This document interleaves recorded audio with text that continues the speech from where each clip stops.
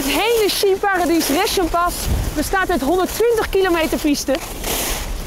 De sneeuw komt vanuit het zuiden en vanuit het westen, vandaar dat er ook zo lekker veel ligt.